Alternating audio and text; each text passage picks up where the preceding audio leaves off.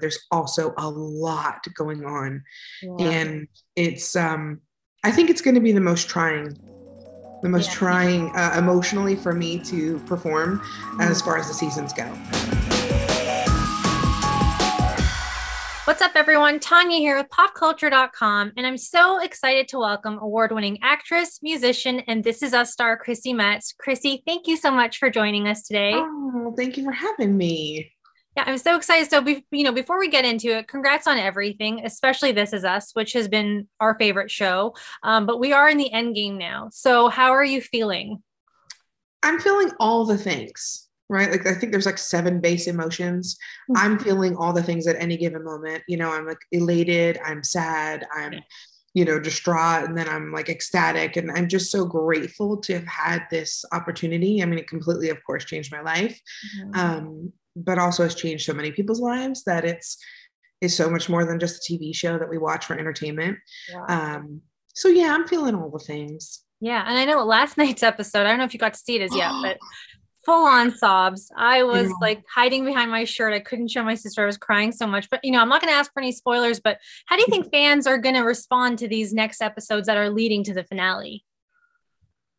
These are, I mean, we're sort of like summing up, you know, five years of, of so many lives and not just five years, but like, you know, obviously countless years of, of this family's uh, life together. And whether it's Kate and Toby and the unraveling of their relationship or Rebecca and her diagnosis and what's happening and you know all the things who knows what's Randall what position of office Randall's going to be running for and who Kevin's going to be dating you know there's all sorts of things happening um, which makes it for a very exciting final season but there's also a lot going on yeah. and it's um I think it's going to be the most trying the most yeah. trying uh, emotionally for me to perform mm-hmm. as far as the seasons go but it's going to be amazing yeah i can i can already tell like i know all of us like from the reaction from fans too like everyone is so dedicated and committed to watching the rest of the show and you know kate has been one of our favorite characters one of my mine especially because like mm-hmm. she's grown so much and there's like an agency now in her decisions and how she is as a mother with her kids and you know without spoiling it, like where do you want to see Kate? Like, do you have any? I know you've grown with that character too. She's been so personal to you. Mm-hmm. Yeah, I mean, she really has.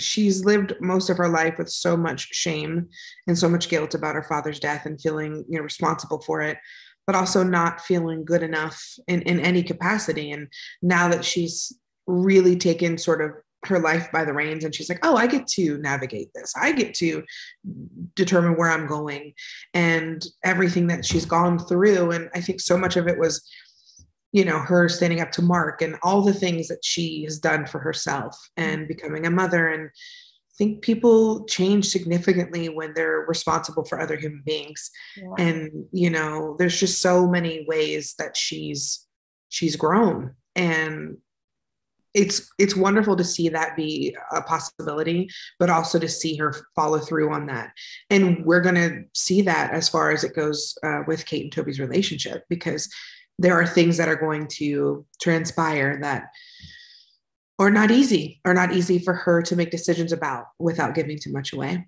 yeah, and I know all those little Easter eggs we saw from last season, it's gonna be explosive. I can imagine. Yeah. If you could use this, yeah, yeah, if you could use a superlative to like describe this last season, what would it be? Oh my gosh. Oh my gosh, one word.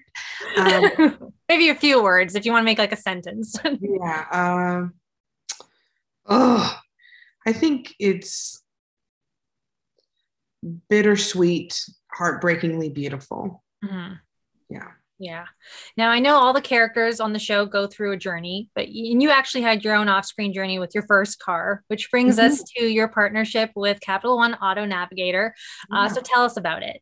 Yeah, I mean, my journey with my first car. I mean, it's essential to have a car in LA while you're pursuing acting, mm. and luckily, it got me to all my auditions and got me to this place that I'm here talking to you about this amazing job and yeah. it, being able to sort of chat about Capital One Auto Navigator with everybody is like exciting because I think that opportunities really provide so much empowerment and that accessibility, whether you're going on auditions or, you know, finding your dream job or whatever it is that you're doing Yeah. when you can simply go and find out what car whether it's a dream car or the car that you need right now and you want a, a specific color or a specific leather or whatever it is that you're looking for then you can easily access that and find out and then pre-qualify and do all that legwork before you get to the dealership then when you get to the dealership like the exciting part is like the test drive Yeah. and so it's really cool because you get to pre-qualify but it doesn't ding your credit Mhm. which we love that Yeah. and um,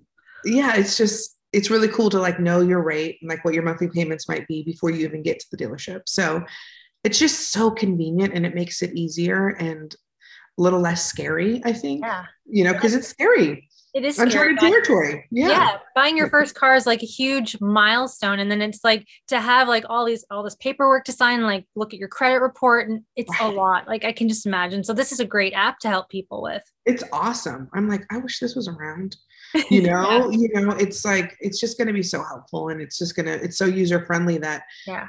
it just sort of takes the scaries away i think very much so you know being the voice of this you faced also many hurdles with buying your first car. What advice do you have for new car owners? Oh wow that's a great question. I think that you know you have delusions sometimes of grandeur and i'm like chrissy what can you afford? What can you afford to feel good about? Mhm. you know you don't want to strap yourself that you can't have that coffee or go on you know um, out to dinner with friends or something I, I would say definitely find something that you like and that you can afford and know that it's probably not going to be your last car. Yeah. You know it could be just the sort of an interim car or it maybe is your dream car. Mhm. i just think that it's important to determine what you can afford and how that that's going to to fit into your whole life. Yeah. Because sometimes i'm like how could what like what do you do?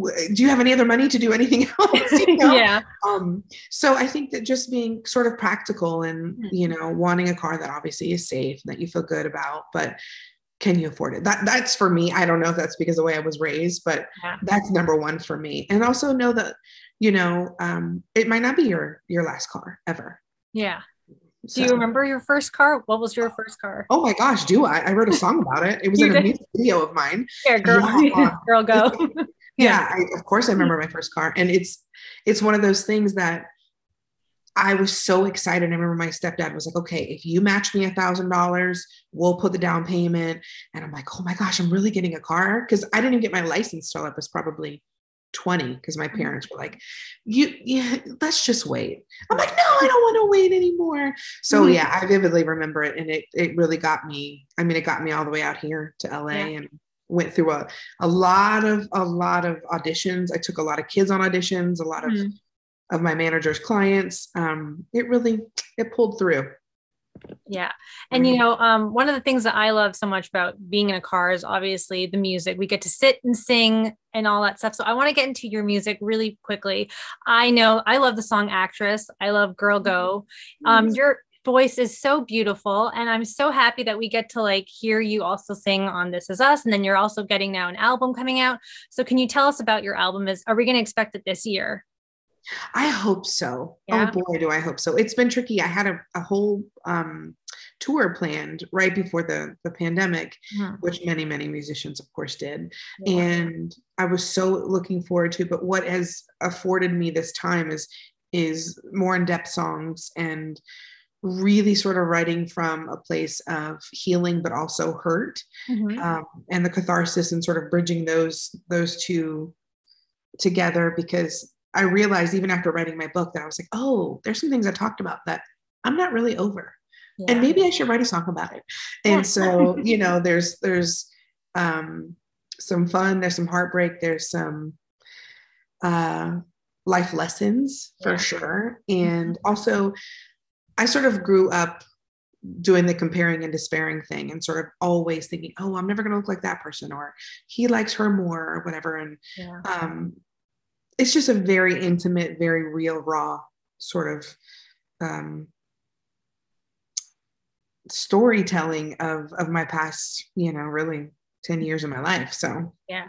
Well, I Yeah. always I always feel like, you know, songwriting, like your music, especially when I'm hearing it, it's so from the heart, like it's so Mhm. deep and it's the best way to heal your broken heart. And I always feel like make your, you know, broken heart turns into art. Absolutely. Yeah. Absolutely. So, Chrissy, it's been an absolute pleasure chatting with you today. Thank you so much. And congrats on This Is Us. Um, guys, for more with Chrissy, keep it locked to popculture.com for the latest.